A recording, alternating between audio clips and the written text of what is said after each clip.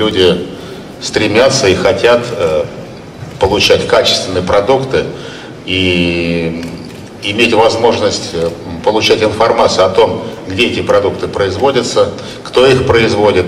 Данная выставка на протяжении всех этих э, более чем четверти века э, дает такую возможность. Очень приятно, что в очередной раз площадка для выставки собрала и лучших производителей, и переработчиков, является тем местом, где решаются очень многие вопросы, связанные с развитием агропромышленного комплекса. Агрорусь для нас, аграриев, это профильная выставка. Мы сегодня подводим итоги года. В Ленинградской области есть чем гордиться. Мы являемся лидерами по производству яйца, молока, мяса.